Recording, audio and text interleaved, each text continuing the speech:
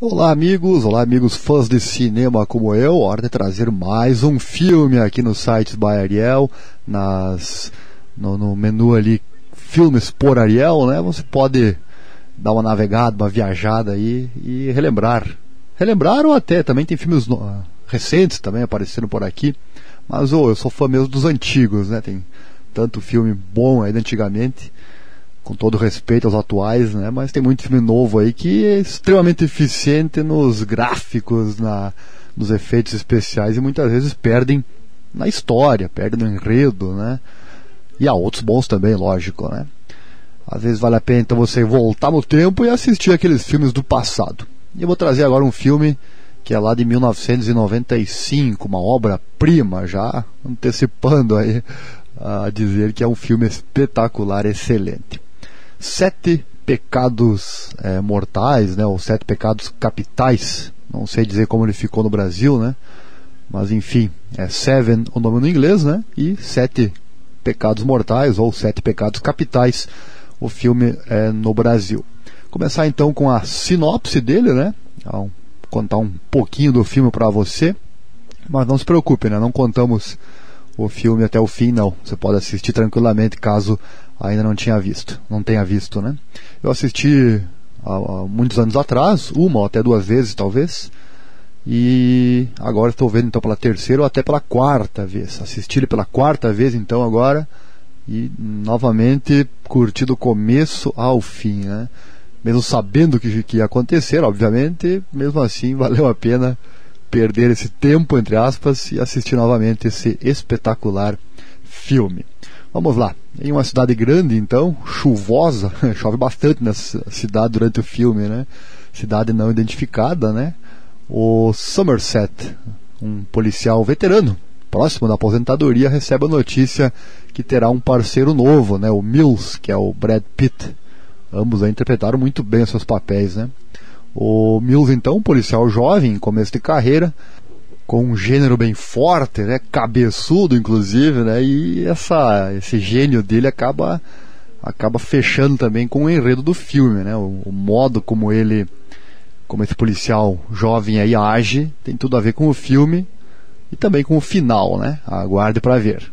O Mills que pediu a sua transferência para lá, ele com a esposa, né, a esposa infeliz na cidade, né, tem essa parte da trama também que depois acaba se encaixando no, no restante do filme, né?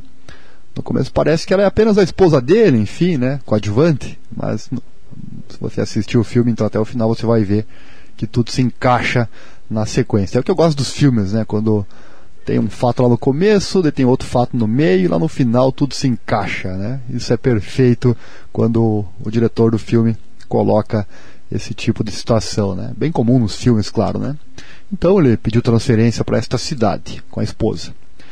Investigando o terrível assassinato de um homem absurdamente obeso, né, os parceiros se separam. Somerset ficou encarregado do, do caso do homem obeso e o Mills foi encarregado de outro caso, envolvendo um advogado é, morto em circunstâncias também terríveis, né, com a palavra avareza escrita no carpete do escritório. Não demorou muito para o Somerset né, fazer a ligação entre os crimes e perceber que eles estão diante de um serial killer sádico e extremamente disciplinado que comete seus assassinatos de acordo com os sete pecados capitais. Né? Cada crime cometido é um dos sete pecados é, capitais. Para quem não sabe, né, os sete pecados capitais são a gula, a avareza, né, os dois iniciais aí do filme, também tem a luxúria, a ira, a inveja, a preguiça e também a soberba. Vamos a trazer aqui a, a ficha técnica deste filme, né? ano, como eu falei antes, 1995, 127 minutos de duração, a direção do David Fincher, né? segundo filme, se eu não me engano, que ele, que ele fez, ou segundo filme de sucesso. Né? Atores principais, então, o Brad Pitt e o Morgan Freeman. O gênero é suspense, também crime, uma pitadinha de terror também, né? Então seria um filme forte, um filme pesado, algumas cenas aí avisando você, né? Mas espetacular. Ele foi lançado nos Estados Unidos em 22 de setembro de 1995 e no Brasil chegou em Naquela época demorava mais, né? 15 de dezembro de 1995. Idioma inglês, orçamento 30 milhões de dólares, ele arrecadou 327 milhões de dólares. Eu nunca analisei muito essa questão de, de quanto arrecadou, mas estava chamando a atenção uma coisa. Pelo menos os filmes que nós trouxemos aqui, a maioria deles deu 10 vezes mais do que o valor do orçamento, né? Aqui 30 milhões, 327 no caso 11 aqui, quase 11 vezes mais, mas em torno de 10 vezes mais eles arrecadaram é, do que o valor da produção. Vou começar a cuidar isso aqui no, no decorrer. Eu não sou nenhum expert em cinema, apenas gosto e usando aí minha, minha experiência como, como locutor de rádio, vou trazendo a minha experiência para você aqui neste, em mais este e mais esta atração aqui do nosso site. Então começou a chamar atenção isso aqui agora, né? 30 milhões, 327 milhões de é, receita. Vamos aos pontos fortes que eu achei aqui neste filme. Vou citar dois pontos fortes. Três, três pontos fortes. Um, o terceiro é o final, né? Final espetacular, né? Trágico, mas espetacular. Não vou contar aqui, né? Mas assista, você vai ver. Outro ponto forte do filme é a, questão da investigação policial, né? Quando os policiais querem e têm recursos para isso, né? Eles com certeza conseguem chegar as conclusões né, nas suas investigações. Hoje em dia tem tanto crime aí que tenho certeza absoluta que os crimes não são tratados como deveriam, né? até pela quantidade né? e pouco efetivo muitas vezes. Muita impunidade acontece, talvez por isso. Né? Tem tanto crime que os policiais acabam acabam não conseguindo, né? ou até não querendo muitas vezes, não, não sabemos, né? É, investigar como é, deveria. Né? E o terceiro ponto forte é a fala do bandido lá no final, né, nas últimas cenas do filme. Foi um bandido que falou, né, um criminoso, mas falou uma coisa bem, ver, bem verdadeira que me chamou a atenção, né? Ele disse, né, quando foi questionado pelos policiais por que ele cometeu todos aqueles crimes, pessoas inocentes, aí ele disse: inocentes?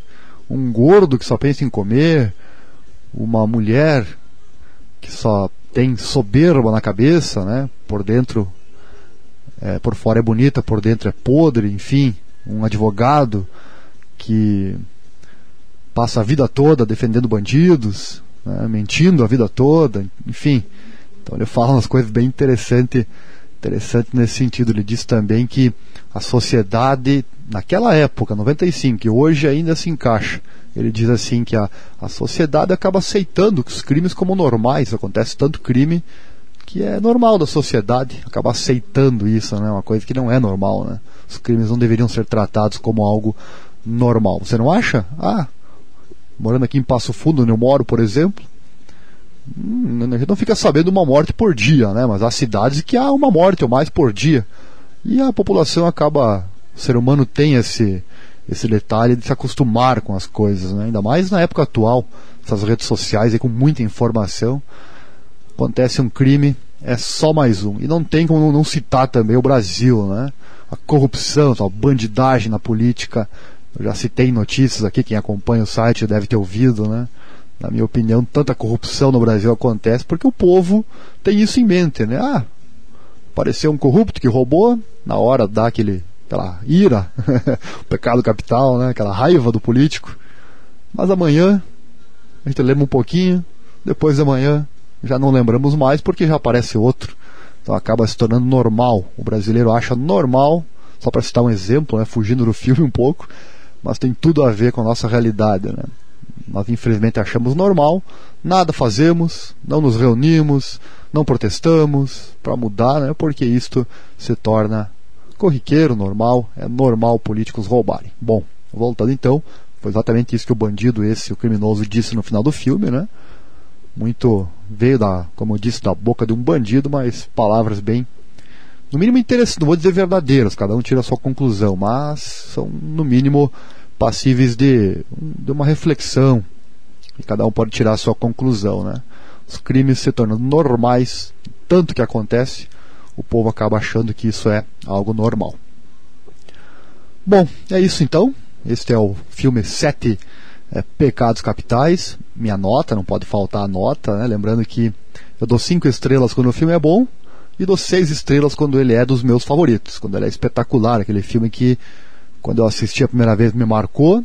E se eu assistir a segunda vez e marcar novamente, estou assistindo a quarta vez já e realmente me emocionei tanto como, quanto na primeira, né? Então é seis estrelas com certeza para ele. Eu dou quatro estrelas quando o filme é mediano ou daí para baixo, né? Não sei se vou chegar a trazer algum filme que seja abaixo de quatro estrelas. Por enquanto, eu não trouxe nenhum com quatro estrelas ainda, até porque esse trabalho aqui é, está iniciando.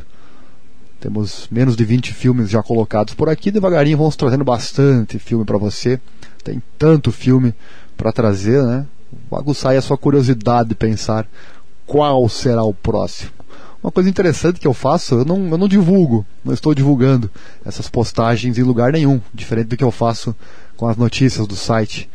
E no outro dia eu vou lá olhar, tem várias pessoas que acessaram, né? Então tem, tem ouvinte aí, tem é, pessoas que acessam o meu site e esperam, estão esperando a chegada dos filmes para poder para poder é, verificar, né? Eu sei disso pela, pelos views, né? Pelas visualizações que tem na postagem, mesmo sem divulgar. No dia seguinte tem várias pessoas que acessaram. Eu não tenho como saber quem são as pessoas, mas é, eu sei que as pessoas acessaram pelas visualizações. Eu espero comentários, hein? Você que está gostando desse quadro ou até qualquer outro item aqui do site, o seu comentário é de suma importância. Vou ficar muito feliz Sempre que eu recebo, eu fico muito feliz, já recebi vários comentários aqui no site.